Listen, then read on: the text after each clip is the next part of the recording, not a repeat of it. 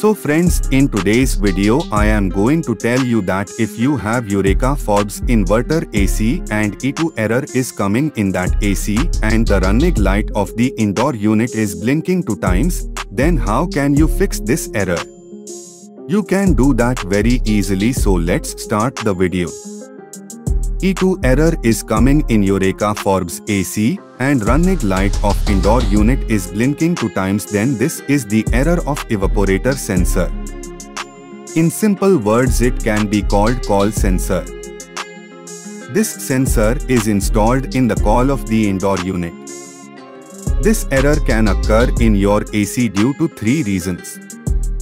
It is possible that the wire of the coil sensor may have been cut by a rat.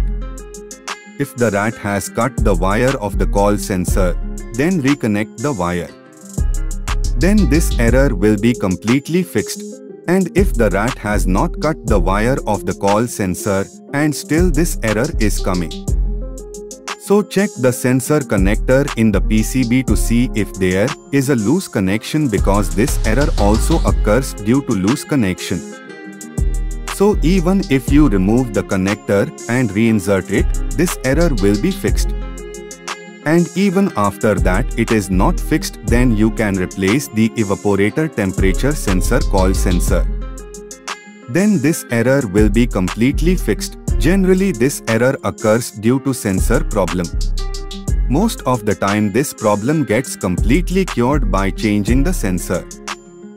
And if this problem is not fixed after changing the sensor then you will have to change the power circuit board. I hope you have understood the information given by me, then please like my video.